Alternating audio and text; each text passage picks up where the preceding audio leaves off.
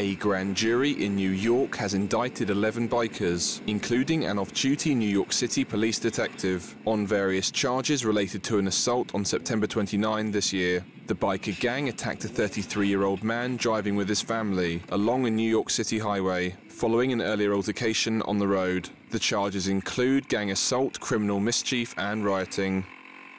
A video of the biker gang's assault emerged on social media just days after the attack.